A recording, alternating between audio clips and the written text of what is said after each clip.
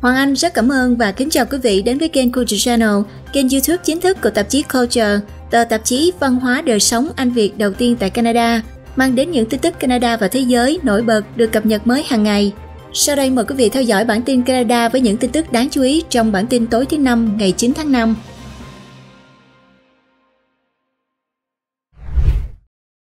Cuộc tranh luận về quyền phá thai nổ ra tại đồi quốc hội và ông Poilievre thề là sẽ không ban hành luật.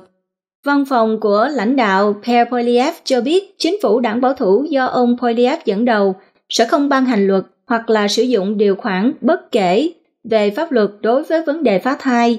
Đối mặt với áp lực chính trị, phải làm rõ lập trường của mình khi những người biểu tình chống phá thai tập trung tại đồi quốc hội để tổ chức một cuộc biểu tình thường niên. Người phát ngôn của ông Poilievre là Sebastian Skemsky đã bác bỏ những đề xuất từ đảng tự do liên bang và đảng NDP rằng đảng bảo thủ liên bang đang để ngỏ vấn đề này. Nhận xét của ông được đưa ra sau khi Bộ trưởng phụ trách phụ nữ và bình đẳng giới và thanh niên Marcelin cho rằng lãnh đạo đảng bảo thủ ông Pierre có thể sử dụng điều khoản bất chấp, tức là notwithstanding clause, để loại bỏ quyền phá thai ở Canada. Người phát ngôn Skemsky cho biết chính phủ đảng bảo thủ sẽ chỉ sử dụng điều khoản bất chấp đối với các vấn đề tư pháp hình sự. Thủ tướng Justin Trudeau cũng đưa ra nhận xét tương tự với Bộ trưởng In trong thời gian thẩm vấn. Rõ ràng là ông Poilievre sẽ không bảo vệ quyền phá thai của phụ nữ. Ông ấy khoe khoang về việc sử dụng điều khoản bất chấp để chà đạp lên quyền của người Canada và quyền lựa chọn của phụ nữ sẽ không được tranh luận vào năm 2024.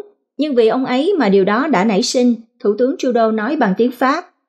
Phá thai từ lâu đã là một vấn đề nhức nhối trong nền chính trị Canada và với các cuộc biểu tình ủng hộ quyền lựa chọn và chống phá thai diễn ra trên bãi cỏ của đội quốc hội, cuộc tranh luận về vấn đề này đã nổ ra bên trong Hạ viện vào thứ Năm. Cuộc tranh luận diễn ra sau một bản kiến nghị do nghị sĩ đảng bảo thủ ông Arnold Versen của Alberta đưa ra vào hôm thứ Hai, kêu gọi chính phủ quản lý việc phá thai Ông Versen đã lập ba bản kiến nghị có lợi lẽ tương tự nhau kể từ tháng 11.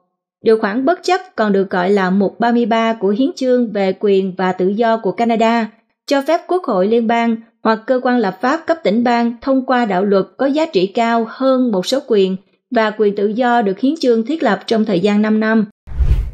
Đảng Tự do cam kết 1,7 triệu đô la cho những người LGBTQ+ bị đàn áp ở nước ngoài Chính phủ liên bang đã công bố 1,7 triệu đô la cho các nhóm ủng hộ giới tính và giới tính thiểu số ở nước ngoài, đồng thời phải đối mặt với những lời chỉ trích từ các nhà hoạt động rằng Ottawa đã quá chậm trễ trong việc thực hiện các lời hứa tài trợ của mình.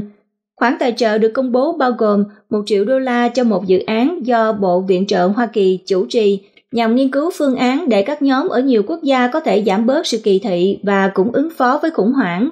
Phần tài trợ còn lại dành cho Rainbow Railroad có trụ sở tại Toronto để kiểm tra tình trạng buộc phải di dời của các nhóm thiểu số về giới tính và tình dục trên toàn thế giới. Đầu năm 2019, Đảng Tự do đã công bố tài trợ cho người LGBTQ+ ở nước ngoài, bao gồm 15 triệu đô la cho các nhóm ở những khu vực mà quyền lợi bị hạn chế. Tuy nhiên, Bộ cho biết chỉ 1,25 triệu đô la trong số tiền đó đã đến được khu vực châu Phi cận Sahara, còn 2,8 triệu đô la khác vẫn chưa được chi tiêu. Bộ Ngoại giao Canada cho biết đại dịch COVID-19 và quá trình tham vấn kéo dài đã làm trì hoãn việc tài trợ cho một số nhóm, nhưng Bộ có kế hoạch tăng cường chi tiêu. Trong khi đó, các nhà hoạt động cũng đang kêu gọi Canada mạnh mẽ lên án luật kỳ thị người đồng tính ở các quốc gia như là Uganda và Ghana. Ngân hàng Canada cho biết nợ và định giá tài sản là những rủi ro chính đối với sự ổn định của Canada.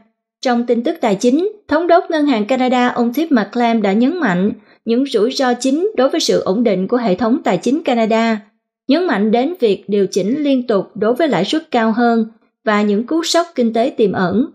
Phát biểu tại buổi ra mắt báo cáo ổn định tài chính hàng năm của Ngân hàng Trung ương vào thứ Năm hôm nay, ông McClam lưu ý rằng mặc dù hệ thống tài chính của Canada vẫn có khả năng phục hồi tốt, nhưng các hộ gia đình và doanh nghiệp cũng như các tổ chức tài chính vẫn đang thích ứng với tác động của lãi suất tăng cao. Mối quan tâm đặc biệt là chi phí trả nợ ngày càng gia tăng và việc định giá tài sản bị đẩy lên quá cao đã trở thành tâm điểm để theo dõi sự ổn định tài chính. Với lãi suất ở mức cao nhất trong 23 năm, mối lo ngại ngày càng gia tăng về khả năng quản lý nợ của các hộ gia đình và doanh nghiệp đặc biệt là khi các khoản thế chấp sắp được gia hạn với lãi suất cao hơn đáng kể. Báo cáo tiết lộ rằng trong năm qua, tỷ lệ người đi vay có số nợ thẻ tín dụng cao đã tăng lên, làm dấy lên mối lo ngại về việc thanh toán nợ trong tương lai.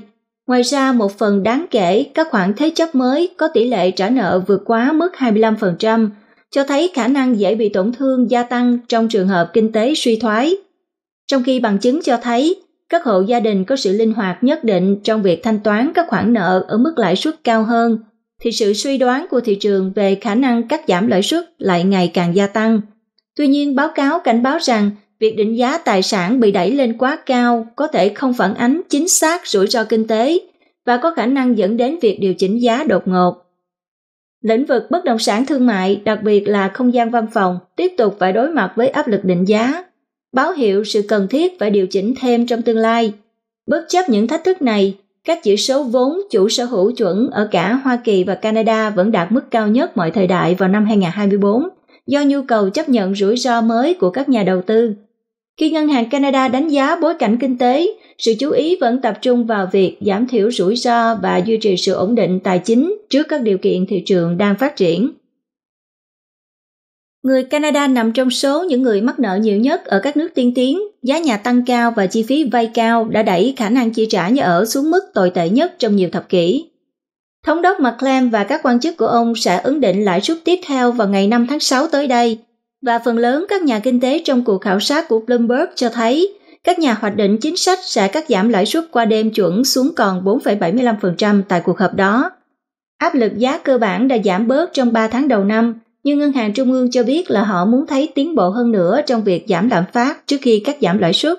Số liệu chỉ số giá tiêu dùng CPI, tức là mức lạm phát tháng 4, dự kiến công bố vào ngày 21 tháng 5, sẽ là yếu tố quan trọng dẫn đến quyết định của Hội đồng Quản trị. Các khoản thanh toán trợ cấp trẻ em Canada cho tháng 5 sẽ được gửi sớm hơn thường lệ. Các bậc cha mẹ đủ điều kiện trên toàn quốc có thể mong đợi các khoản thanh toán phúc lợi trẻ em Canada CCP hay còn được gọi là tiền sữa sẽ đến tài khoản của họ sớm hơn thường lệ trong tháng này. Các khoản thanh toán này thường được chi trả vào ngày 20 hàng tháng, trừ khi có ngày cuối tuần hoặc ngày lễ. Trong trường hợp đó, chúng sẽ được gửi vào ngày hôm trước. Vào tháng 5 hàng năm, người Canada sẽ có được ngày nghỉ lễ thứ hai nhân ngày Victoria Day. Năm nay thì kỳ nghỉ lễ rơi vào ngày 20 tháng 5, nghĩa là phụ huynh sẽ nhận được khoản thanh toán CCB vào thứ Sáu ngày 17 tháng 5. Phúc lợi hàng năm tối đa cho mỗi đứa trẻ dưới 6 tuổi là 7.437 đô la và số tiền tối đa hàng năm cho mỗi trẻ từ 6 đến 17 tuổi là 6.275 đô la. Ngày 1 tháng 7 luôn là ngày đánh dấu một năm mới đối với các chương trình phúc lợi của Canada và trợ cấp sẽ được điều chỉnh tăng lên hàng năm để theo kịp với chi phí sinh hoạt ngày càng gia tăng, mang lại cho cha mẹ nhiều hỗ trợ hơn mỗi tháng để giúp họ chu cấp cho con cái của họ. Vào mùa hè này, khoản tiền gửi trợ cấp của bạn sẽ tăng vọt. Chính phủ hiện có kế hoạch tăng phúc lợi trẻ em lên 4,7%. Phúc lợi tối đa cho trẻ em dưới 6 tuổi sẽ tăng thêm 350 đô la lên 7.787 đô la. Còn đối với trẻ em từ 6 đến 17 tuổi, số tiền này sẽ tăng thêm 295 đô la, tăng lên mức 6.570 đô la. Hàng tháng số tiền này sẽ vào khoảng 650 đô la cho mỗi trẻ dưới 6 tuổi và 550 đô la cho mỗi trẻ từ 6 đến 17 tuổi. Số tiền này cũng được miễn thuế. Tuyên bố bùng phát bệnh ho gà ở miền đông Newfoundland, các quan chức y tế cho biết đang có một đợt bùng phát bệnh ho gà ở miền đông Newfoundland. Theo cơ quan y tế của tỉnh, 42 trường hợp đã được báo cáo trong khu vực kể từ tháng 2, chủ yếu ảnh hưởng đến trẻ em. Nhưng trong bản tin mới nhất, các ca bệnh đã được báo cáo ở những bệnh nhân trong độ tuổi từ 2 tháng đến 89 tuổi. Thông báo mô tả đợt bùng phát là một tình huống đang phát triển và cho biết các quan chức y tế công cộng đang theo dõi chặt chẽ. Cơ quan y tế vào hôm nay đã mở một phòng khám xét nghiệm chỉ theo lịch hẹn ở St. John's dành cho những người có triệu chứng và những người đã tiếp xúc với người được xác nhận đã mắc bệnh. Giám đốc y tế của tỉnh cho biết đã có 50 trường hợp được xác nhận trên toàn tỉnh bang trong năm nay, đồng thời kêu gọi người dân hãy bảo đảm các mũi vaccine đã được cập nhật. Bệnh ho gà là một bệnh nhiễm trùng do vi khuẩn rất dễ lây lan, có thể ngăn ngừa được bằng cách tiêm chủng định kỳ cho trẻ em và điều trị bằng trụ sinh. Những người biểu tình ủng hộ Palestine dựng trại tại Đại học Calgary. Cảnh sát Calgary đã được gọi đến Đại học Calgary sau khi những người biểu tình dựng trại trong khuôn viên trường vào sáng thứ Năm hôm nay để phản đối cuộc tấn công của Israel vào Gaza. Đại học Calgary đã thông báo cho cảnh sát Calgary vào khoảng 6 giờ 30 sáng rằng một số người biểu tình đã dựng lều trại trên bãi cỏ phía nam của McElwain Hall. Đến giữa buổi chiều đã có khoảng 20 lều trại được dựng lên và khoảng 40 người biểu tình tại địa điểm. Cảnh sát Calgary cho biết họ đã được kêu gọi hỗ trợ sau khi những người cắm trại đã từ chối rời khỏi khuôn viên trường đại học. Việc dựng trại là một phần của cuộc biểu tình phối hợp chống lại cuộc xung đột đang diễn ra ở Gaza. Các hoạt động tương tự cũng đang được lên kế hoạch cho Đại học Calgary và Đại học Alberta ở Edmonton. Một trang Instagram đã được thành lập để hỗ trợ việc dựng trại, với tên tài khoản là University of Calgary Divest for Palestine. Tài khoản đã liệt kê các yêu cầu dành cho trường đại học, bao gồm công khai tài chính và minh bạch trong các khoản đầu tư, thoái vốn khỏi các tập đoàn liên quan đến việc chiếm đóng Gaza và bờ Tây, cũng như hỗ trợ học tập và sức khỏe tâm thần cho sinh viên Palestine. Thưa quý vị, chính phủ tỉnh bang BC đang bị bao vây bởi hàng triệu cuộc tấn công mạng mỗi một giờ. Tỉnh bang British Columbia đang phải đối mặt với làn sóng tấn công mạng không ngừng nghỉ, với các nguồn tin chính phủ xác nhận rằng nhiều bộ và cơ quan khác nhau đang bị bao vây, phải đối mặt với con số đáng kinh ngạc là 1,5 tỷ vụ hack mỗi một ngày. Điều này thể hiện sự gia tăng đáng kể trong những năm gần đây, khiến tỉnh phải tăng cường ngân sách an ninh mạng hàng triệu đô la mỗi một năm. Bộ trưởng An toàn Công cộng ông Mike Van Wert đã tìm cách xoa dịu nỗi sợ hãi, nói rằng hiện tại không có bằng chứng nào về việc thông tin cá nhân nhạy cảm bị truy cập và không có yêu cầu tiền chuộc nào được đưa ra. Tuy nhiên, cảnh sát và các cơ quan liên bang đang tích cực tham gia vào cuộc điều tra. Cuối ngày thứ Tư, Văn phòng Thủ hiến đã đưa ra một tuyên bố thừa nhận rằng cơ sở hạ tầng, công nghệ thông tin của tỉnh đã bị xâm phạm. Điều này diễn ra sau các báo cáo rằng các nhân viên nhà nước đã được chỉ đạo khẩn cấp để thay đổi mật khẩu của họ. Trong khi lãnh đạo phe đối lập Kevin Falcon chỉ trích chính phủ vì đã trì hoãn thông báo về vụ tấn công mạng, thì chuyên gia an ninh mạng Thomas Pasquier lại bảo vệ động thái này, nói rằng việc ưu tiên an ninh mạng và xác định các vi phạm thành công là rất quan trọng. Cơ quan an ninh truyền thông liên bang đang hợp tác với các quan chức tỉnh bang BC để giảm thiểu vấn đề, nhấn mạnh rằng các mối đe dọa trên mạng vẫn là mối nguy hiểm dai dẳng đối với các tổ chức và cơ sở hạ tầng quan trọng của Canada. Trong khi kêu gọi minh bạch hơn, chuyên gia an ninh mạng Pasquier cũng lưu ý rằng Cuộc tấn công có thể vẫn đang tiếp diễn và cuộc điều tra vẫn chưa xác định được nguồn chính xác và mức độ của sự xâm phạm. Tỉnh bang British Columbia đang thành lập một nhóm điều tra tội giết người chuyên biệt liên quan đến băng đảng, khi số vụ giết người trong băng đảng hiện đã chiếm gần 50% số vụ giết người trong tỉnh. Các vụ giết người liên quan đến băng đảng trong tỉnh đã tăng từ 21% trong năm 2003 lên 46% vào năm ngoái. Ông Mike Farnworth, Bộ trưởng An toàn Công cộng và Tổng cố vấn pháp luật của tỉnh BC cho biết, đội Integrated Gang Homicide mới sẽ điều tra các vụ giết người có liên quan đến băng đảng. Đội ngũ gồm 18 thành viên dự kiến sẽ hoạt động đầy đủ vào cuối năm nay hoặc đầu năm 2025. Các thành viên của đơn vị giết người băng đảng sẽ là thành viên của đội Integrated Homicide Investigation, gọi tắt là IHIT, do cảnh sát RCMP lãnh đạo ở Lower Mainland nhưng họ sẽ tập trung vào các vụ án băng đảng. Các vụ giết người liên quan đến băng đảng thường tốn nhiều thời gian hơn để điều tra. Tính đến tháng 12 năm 2023, đội IHIT đã báo cáo có 356 vụ việc chưa được giải quyết. Tuổi thọ của tỉnh bang Quebec trở lại mức trước đại dịch thuộc hàng cao nhất thế giới. Theo dữ liệu mới từ Viện Thống kê Quebec ISQ, tuổi thọ ở Quebec đã trở lại mức trước đại dịch Dữ liệu cũng cho thấy cuộc khủng hoảng sử dụng thuốc quá liều không tránh khỏi xảy ra ở tỉnh này, vì đây là nguyên nhân chính dẫn đến sự gia tăng tỷ lệ tử vong ở những người từ 25 đến 44 tuổi. Tỷ lệ tử vong ở nhóm tuổi 25 đến 44 có xu hướng tăng trong giai đoạn 2020 đến 2023. Tỷ lệ tử vong liên quan đến dùng thuốc quá liều ở nhóm tuổi này hiện cao hơn tai nạn giao thông và các vụ giết người hoặc sát hại phụ nữ. Nhà nhân khẩu học Frederick Fleury Payer của ISQ cho biết sự gia tăng này đang diễn ra dần dần. Ông Fleury Payer chỉ ra rằng tự tử chiếm tỷ lệ tử vong lớn hơn ở những người từ 25 đến 44 tuổi, nhưng tỷ lệ tự tử đã giảm hàng năm kể từ những năm 2000. Tuy nhiên, mức tăng tỷ lệ tử vong ở những người từ 25 đến 44 tuổi ở tỉnh bang Quebec lại ít rõ rệt hơn so với phần còn lại của Canada hoặc là Hoa Kỳ. Theo dữ liệu do ISQ mới công bố, ước tính tạm thời về số người tử vong ở Quebec vào năm 2023 là 77.550 người, giảm 1% so với năm 2022. Điều này đã đưa tuổi thọ của người dân Quebec trở lại như trước đại dịch COVID-19, khiến dữ liệu từ những năm gần đây bị đảo lộn. Đến năm 2023, phụ nữ có thể sống tới 84,3 tuổi và nam giới là 80,7 tuổi. Tuổi thọ đã trì trệ ở Quebec kể từ năm 2016, nhưng vẫn thuộc hàng cao nhất thế giới. Trong số các quốc gia thuộc Tổ chức Hợp tác và Phát triển Kinh tế OECD, Nhật Bản có tuổi thọ trung bình tốt nhất ở mức 84,1 tuổi vào năm 2022, cả nam và nữ cộng lại. Một người đã tử vong trong vụ lật xe ở hồ sabot ở Ontario và 5 người khác bị thương. Cảnh sát tỉnh Ontario OPP xác nhận một người đã tử vong sau vụ lật xe ở hồ sabot ở tỉnh bang Ontario, khiến cho 5 người khác bị thương nặng. Vụ tai nạn xảy ra vào khoảng 12 giờ lẻ năm trưa thứ năm hôm nay tại khu phố 1300 của Burke Settlement Road, cách trung tâm thành phố Ottawa khoảng 125 km về phía tây nam. Theo OPP, trên xe có tổng cộng 6 người với một người tử vong tại hiện trường và những người còn lại bị thương và được chuyển đến các bệnh viện trong khu vực. Cảnh sát chưa thể xác nhận ngay độ tuổi hoặc là danh tính của những người bị thương. Chiếc xe chỉ được mô tả là xe chở khách. Burke Settlement Road sẽ bị đóng cửa một thời gian để điều tra. Năm người bị chó tấn công ở phía tây của Edmonton. Theo cảnh sát, năm người đã bị hai con chó Pitbull tấn công ở Meadowlark Park ở Edmonton vào chiều thứ Năm.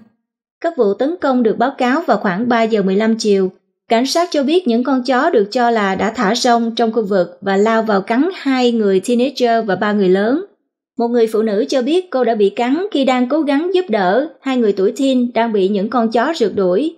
Toàn bộ nạn nhân trừ một người lớn đã được đưa đến bệnh viện với những vết thương không nguy hiểm đến tính mạng. Cảnh sát cho biết những con chó đã bị các quan chức thành phố Edmonton bắt giữ. Đến từ ngoài vũ trụ, nông dân Saskatchewan bàng hoàng khi phát hiện mảnh vỡ kỳ lạ trên cánh đồng. Một gia đình nông dân thế hệ thứ năm đến từ Ituna của Saskatchewan đang cố gắng tìm câu trả lời sau khi phát hiện ra nhiều vật thể lạ nằm trên mảnh đất của mình. Barry và Corey Sawchuk cho biết họ tình cờ thấy những vật thể này vào ngày 28 tháng 4 khi đang làm việc trên cánh đồng của gia đình.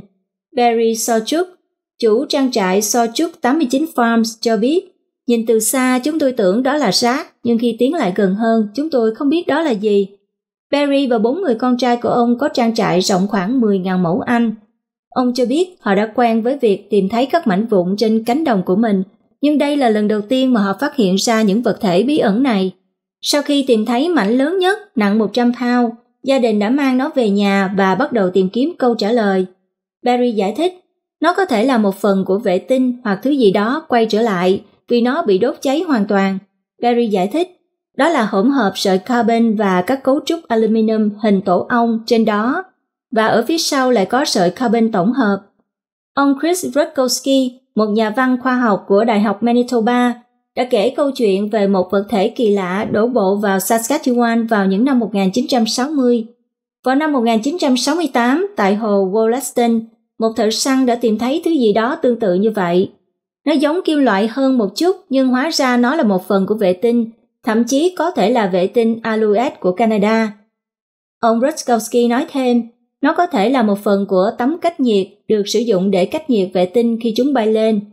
Ủy ban An toàn Giao thông Vận tải Canada xác nhận các mảnh vỡ được tìm thấy tại trang trại của Sochuk không phải là một phần của máy bay, vì gần đây không có tai nạn máy bay nào xảy ra trong khu vực. Cơ quan vũ trụ Canada cho biết họ đang xem xét vấn đề. Sàng lọc ung thư vú nên bắt đầu ở tuổi 40 theo Hiệp hội Ung thư Canada. Theo Hiệp hội Ung thư Canada, tất cả các tỉnh và vùng lãnh thổ nên giảm độ tuổi bắt đầu sàng lọc ung thư vú xuống 40 tuổi. Một số tỉnh bang đã trả tiền cho việc chụp quan tuyến vú bắt đầu từ tuổi 40, nhưng hướng dẫn hiện hành do lực lượng đặc nhiệm quốc gia đưa ra khuyên nên bắt đầu sàng lọc ung thư vú ở tuổi 50. Theo Sandra Coax, Phó Chủ tịch điều hành của Hiệp hội Ung thư cho biết, điều quan trọng đối với phụ nữ trên toàn quốc là được tiếp cận kịp thời với dịch vụ sàng lọc vú, bất kể là họ sống ở đâu. Theo bà Sandra, khoảng 13% trường hợp ung thư vú ở Canada xảy ra ở phụ nữ trong độ tuổi 40. Việc chẩn đoán sớm hơn thường có nghĩa là cần phải điều trị ít xâm lớn hơn và kết quả sẽ thành công hơn. Lực lượng đặc nhiệm Canada về chăm sóc sức khỏe dự phòng hiện đang gợi ý sàng lọc định kỳ bắt đầu từ 50 tuổi đối với những người có nguy cơ mắc bệnh ung thư vú ở mức trung bình. Lực lượng đặc nhiệm dự kiến sẽ sửa đổi hướng dẫn của mình vào mùa xuân này. Hiệp hội ung thư cho biết ngay cả khi lực lượng đặc nhiệm gợi ý rằng việc sàng lọc bắt đầu ở tuổi 40 thì cuối cùng việc tài trợ vẫn tùy thuộc vào các tỉnh và vùng lãnh thổ. Điều cực kỳ quan trọng đối với các nhà cung cấp dịch vụ chăm sóc sức khỏe ban đầu là nói chuyện với bệnh nhân của họ về việc sàng lọc ung thư vú bắt đầu từ tuổi 40, chứ không phải đợi đến khi họ bước sang tuổi 50. Theo Hiệp hội ung thư, cứ 8 phụ nữ ở Canada thì có một người được chẩn đoán mắc bệnh ung thư vú trong đời. Và sau đây là độ tuổi bắt đầu sàng lọc ung thư vú ở mỗi tỉnh và vùng lãnh thổ theo Hiệp hội ung thư Canada. Tỉnh bang Ontario và New Brunswick đều cam kết giảm độ tuổi tối thiểu để sàng lọc tự giới thiệu từ 50 xuống còn 40 vào năm 2024.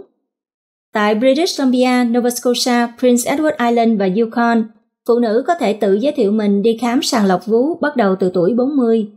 Việc sàng lọc ung thư vú bắt đầu từ 45 tuổi ở Alberta và lãnh thổ Tây Bắc. Các chương trình sàng lọc của Manitoba, Quebec và Newfoundland bắt đầu ở tuổi 50. Tỉnh Saskatchewan cho biết họ sẽ hạ thấp khả năng đủ điều kiện sàng lọc ở độ tuổi 40 theo cách tiếp cận theo từng giai đoạn bắt đầu từ năm 2025. Nunavut không có chương trình sàng lọc vú có tổ chức. Vi khuẩn đường ruột được xác định là mối liên hệ tiềm ẩn giữa thói quen hút thuốc của bà mẹ và béo phì ở trẻ em. Nhiều nghiên cứu từ lâu đã xác định rằng những đứa trẻ sinh ra từ những bà mẹ hút thuốc có nhiều khả năng bị béo phì hơn. Tuy nhiên, các nhà nghiên cứu tại Đại học Alberta tin rằng họ đã hiểu rõ hơn lý do tại sao điều đó xảy ra sau khi phát hiện ra lượng vi khuẩn đường ruột cao ở những đứa trẻ đó. Nghiên cứu mới do giáo sư nhi khoa Anita Kozeski thực hiện và công bố trên tạp chí Gut Microbes số tháng 3 đã phát hiện ra sự dư thừa của một loại vi khuẩn có tên là Firmicutes trong ruột của trẻ sơ sinh. Nghiên cứu cho thấy lượng Firmicutes tăng lên trong ruột của trẻ sơ sinh có mẹ hút thuốc. Mặc dù tất cả các vi khuẩn đường ruột đều tạo ra chất chuyển hóa, sản phẩm cuối cùng của quá trình trao đổi chất của vi khuẩn, nhưng số lượng lớn vi khuẩn tạo ra lượng chất chuyển hóa lớn hơn. Và điều này đã tạo ra một chuỗi phản ứng, làm tăng tình trạng tăng cân nhanh chóng ở trẻ. Những tác dụng phụ khác của việc hút thuốc khi mang thai đã được biết rõ. Theo Bộ Y tế Canada, những đứa trẻ sinh ra từ những người hút thuốc trong khi mang thai có cân nặng khi sinh thấp và tăng nguy cơ mắc hội chứng đột tử ở trẻ sơ sinh tức là hội chứng SIDS. Nó cũng có thể ảnh hưởng đến não và phổi đang phát triển. Tuy nhiên, mối liên hệ giữa béo phì ở trẻ em và hút thuốc khi mang thai đã được nghiên cứu rộng rãi hơn kể từ những năm 1990. Theo Cơ quan Y tế Công cộng Canada, tính đến năm 2017, 30% trẻ em từ 5 đến 17 tuổi ở nước này bị thừa cân hoặc là béo phì. Béo phì ở trẻ em có thể dẫn đến nguy cơ mắc các bệnh mãn tính cao hơn như là hen suyễn, bệnh tim và bệnh tiểu đường loại 2 nguy cơ béo phì vẫn cao ngay cả khi các bà mẹ giảm hoặc ngừng hút thuốc khi mang thai. Nhưng nếu người mẹ bỏ thuốc trước khi mang thai thì sẽ không có nguy cơ nào lớn hơn. Nghiên cứu cũng cho thấy những đứa trẻ được bú sữa mẹ hoàn toàn ngay cả khi chúng được sinh ra từ những bà mẹ hút thuốc, không có nguy cơ béo phì như những đứa trẻ uống sữa công thức. Mặc dù nghiên cứu đã phát hiện ra vi khuẩn đường ruột là mẫu số chung giữa trẻ thừa cân và bà mẹ hút thuốc, nhưng vẫn cần nghiên cứu thêm để xác nhận rằng vi khuẩn Firmicutes là nguyên nhân chính xác. General Motors khai tử Chevrolet Malibu sau 60 năm. Chevrolet Malibu là chiếc sedan cuối cùng vẫn được bán bởi thương hiệu bán chạy nhất của General Motors GM sẽ ngừng sản xuất trong năm nay. Đợt sản xuất Malibu sẽ kết thúc vào tháng 11 khi nhà máy sản xuất chiếc xe Fairfax Assembly Plant ở Kansas City, bang Kansas, sẽ được cấu hình lại để sản xuất thế hệ mới của Chevrolet Bolt EV. Với sự sụp đổ của Malibu, thương hiệu Chevrolet chủ đạo của General Motors sẽ chỉ bán xe truck, xe SUV và Corvette, một chiếc xe thể thao hai chỗ ngồi tại Hoa Kỳ. Đối thủ cạnh tranh gần gũi của Chevy là Ford đã có động thái tương tự cách đây nhiều năm khi ngừng bán mẫu xe sedan Taurus và Fusion để lại Mustang hai cửa là mẫu xe truyền thống duy nhất trong dòng sản phẩm của hãng. Chevrolet đã ngừng sản xuất đối thủ Mustang là Camaro vào năm ngoái. Theo Cox Automotive, xe hơi truyền thống, những loại xe không phải SUV, xe truck hay là xe van chỉ chiếm chưa đến 20% doanh số bán xe hơi tại Hoa Kỳ. Thế hệ cuối cùng của Malibu được giới thiệu lần đầu tiên vào năm 2016, khiến nó cũ hơn nhiều so với các đối thủ như là Honda Accord và Toyota Camry, tương đối phổ biến. Một phiên bản mới của Camry hiện chỉ có dưới dạng hybrid, vừa được đưa ra vào sản xuất. Tuy nhiên, GM đã bán được hơn 130.000 chiếc Malibu vào năm ngoái, tăng 13% so với năm trước. Malibu được giới thiệu vào những năm 1960 như một phiên bản sang trọng hơn của Chevrolet Chevelle. Justin và Hailey Bieber đang mong đợi đứa con đầu tiên của mình. Đại diện của Hailey Bieber đã xác nhận với hãng tin AP vào hôm thứ Năm rằng người mẫu này mới mang thai được hơn 6 tháng. Cặp đôi đã thông báo tin này trên trang Instagram tương ứng của họ và đăng tải một đoạn video buổi chụp hình lễ tái thề nguyện của Justin và Hailey ở Hawaii. Cặp đôi đã kết hôn từ năm 2018. Ngoài công việc người mẫu, Hailey Bieber còn là người sáng lập dòng sản phẩm chăm sóc da Rode.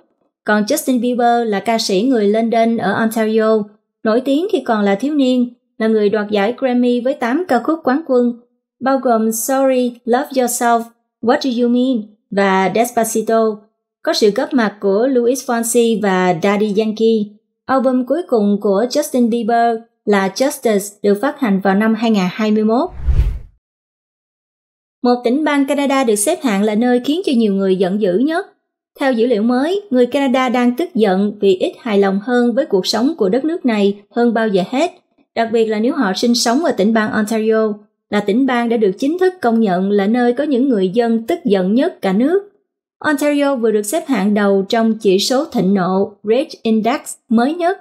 Theo đó, người dân thường xuyên được thăm dò ý kiến để tìm hiểu tâm trạng và quan điểm của họ về các sự kiện hiện tại, nền kinh tế, lãnh đạo chính trị, vân vân Kết quả có thể không quá đáng ngạc nhiên, với chi phí sinh hoạt và khủng hoảng nhà ở hiện tại, cùng với mọi thứ khác đang diễn ra hiện nay, cho thấy người dân ngày càng ít hài lòng hơn với mọi thứ. Các cuộc khảo sát gần đây khác cũng như tình cảm của công chúng trên mạng xã hội cũng đã vẽ ra một bức tranh tương tự về việc gần đây người dân đã mất niềm tin hoàn toàn vào tỉnh. Nhìn chung, mọi người cảm thấy thất vọng nhất về bối cảnh kinh tế Canada 67% cảm thấy khó chịu hoặc tức giận ở mức độ vừa phải đến rất tức giận. Những câu chuyện mới nhất trên các phương tiện truyền thông 63% và những thay đổi đang diễn ra ở Canada là 61%. Hơn một nửa số người được hỏi cũng không hài lòng với chính phủ liên bang hiện tại, 60% và chính quyền tỉnh 56%. Các tỉnh bang tiếp theo nơi người dân cảm thấy không hài lòng là Alberta và BC. Cả hai đều có chỉ số thịnh nộ là 58% khi đề cập đến những vấn đề này. Gen X sinh từ năm 1965 đến 1980 dường như là những người tức giận nhất trong tất cả các nhóm tuổi ở Canada, trong khi những người được xác định là bảo thủ là những người phẫn nộ nhất trong bất kỳ đảng phái chính trị nào. Ngân sách liên bang cũng không làm gì để xoa dịu được mức độ tức giận đối với chính phủ liên bang, vì ngày càng nhiều người Canada có cảm xúc tiêu cực 40% thay vì tích cực là 18% đối với ngân sách. Sau đây là phần cập nhật nhanh về tỷ giá hối đoái. Thưa quý vị, vào cuối ngày giao dịch của ngày thứ năm, đồng đô la Canada tăng lên 0,7304 đô la Mỹ và bằng 0,6781 đồng euro. 1 đô la Canada tương đương 18.630 đồng Việt Nam. 1 đô la Mỹ tương đương 25.504 đồng Việt Nam. Giá vàng tăng lên 2.349,68 đô la Mỹ một ounce, tương đương 3.216 đô la Canada. Vừa rồi là những tin tức Canada nổi bật trong ngày. Rất cảm ơn quý vị và các bạn đã quan tâm theo dõi. Chúng tôi cũng kính mời quý vị đón theo dõi phần điểm tin thế giới.